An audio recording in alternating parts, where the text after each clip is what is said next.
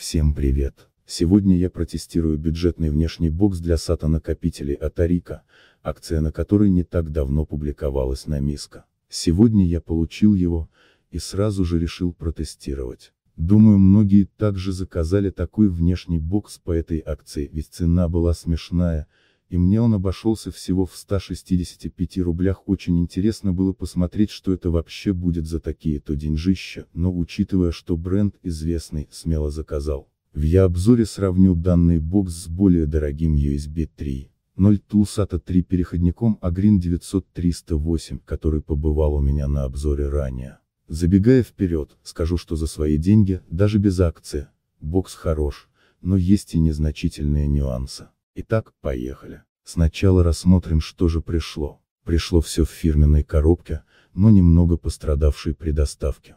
Внутри ничего не пострадало. Бокс с обоих сторон выглядит конечно крайне бюджетно, едва ли видна надпись «Эрика», но нам же не любоваться им, а использовать. Пластик среднего качества.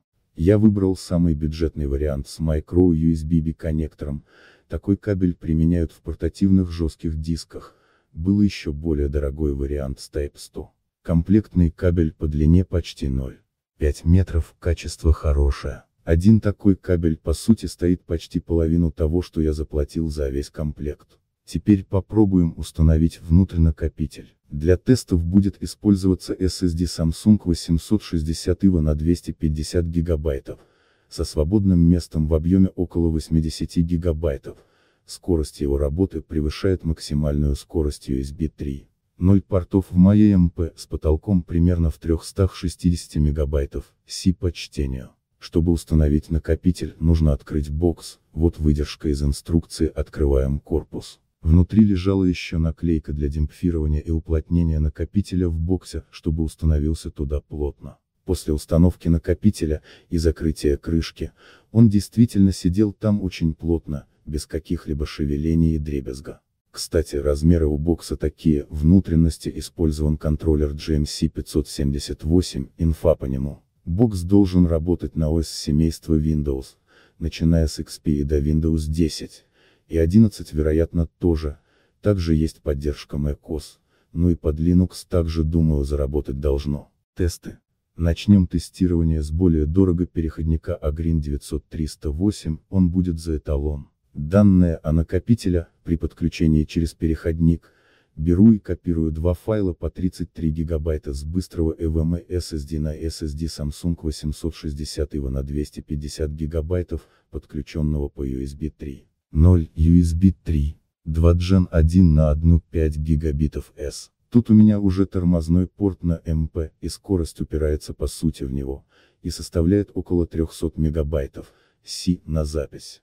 Скорость крайне стабильна во всем отрезке времени. Далее, читаю ранее записанные файлы с SSD Samsung 860 EVO, и записываю их на быстрый EVMe SSD Samsung 970 EVO Plus на 500 гигабайтов, получаю скорость около 340 мегабайтов. C на чтение с SSD Samsung 860 EVO через переходник Agreen 900 308. На SSD Samsung 970 его Plus около 100 гигабайтов свободного места, и он даже толком не загружен во время записи, а вот SSD Samsung 860 его при чтении отдает 100% от возможной скорости. Скорость стабильна, но и результат тестов Crystal Disk Mark на закуску. Далее уже переходу к сегодняшнему герою, боксу Arika 25PV1U3. Тесты те же самые, как и накопитель. Но тут же всплывает первый нюанс, выражающийся тем, что бокс начинает глючить при подключении к переднему порту USB 3. 0 глюча и вешая ПК при копировании, очевидно, что не хватает мощности от порта. Корпус у меня дешманский Китай, внутри видимо не очень хорошая проводка, и бокс уже не переваривает такой поворот событий, но тот же Agreen 900 308 там же работает без сбоев. Подключаю бокс в задний порт, и там ожидаемо все работает нормально. Данные о накопителя, при подключении через бокс, как видим накопитель здесь также работает через AAS, USB Attached XC протокол. Отличий от более дорогого переходника Agreen 900 308 не наблюдается. Скорость записи на SSD Samsung 860 EVO. Скорость записи ниже, чем на Agreen 900 308, почти на 50 мегабайтов Си, скорость чтения с SSD Samsung 860 EVO, скорость чтения около 346 мегабайтов, что в целом идентично таковой у Agreen 900-308.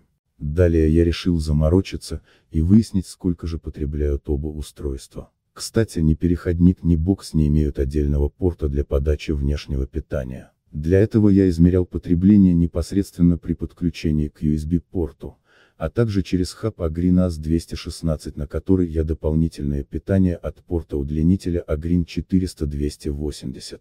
Данные по потреблению получены с помощью тестеров NVIRS FN48. Начнем с Agreen 900-308. Подключаем. При работе через хаб, потребление около 0 часов 55 минут, а при 5, при параллельной записи двух файлов, как на самом первом скриншоте теста.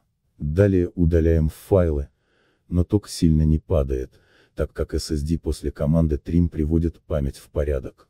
В простое потребление такое при прямом включении в передний USB порт, под нагрузкой запись тех же 2.10 файлов. Данные такие, в простое.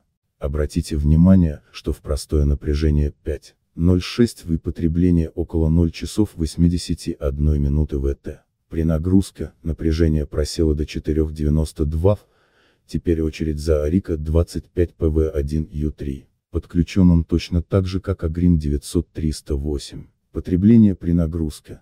Запись тех же 2.10 файлов. Потребление в простое хаб с отключенным SSD. Тут питание от зарядника на 2А, теперь подключу его напрямую к переднему порту системника. На холостом ходу потребление около 0 часов 72 минут ВТ. При подключении бокса через передний коннектор, если к накопителю нет обращений, то все нормально, если начать на него запись, то тут же ПК зависает. А ток немного скачет, видимо при попытках начать запись, оканчивающихся неудачей. Как видим, Арика 25 PV1U3 при записи потребляет он всего 2. 7 ВТ, что даже меньше чем Agreen 900-308, с его потреблением 2. 81 ВТ, но видимо более болезненно реагирует на пониженное напряжение, и начинает глючить. Тут конечно больше проблема отдельно взятого, моего ПК, но имейте в виду что проблема может повториться и на другом ПК с корпусом сомнительного качества, с разъемом неспособным обеспечить 0,9 оттока согласно стандарту USB 3, 0 без сильной просадки напряжения 5 вывода. Бокс работает хорошо. Учитывая стоимость данного бокса, даже по текущей цене без акции, однозначно могу рекомендовать его к покупке. А ТЭД, смотрю сейчас есть скидка на этот бокс карман опубликовали буквально перед моим обзором, ссылка. Чуть дороже чем было ранее, но тоже дешево. Пожалуйста не забудьте поставить лайк и написать комментарий.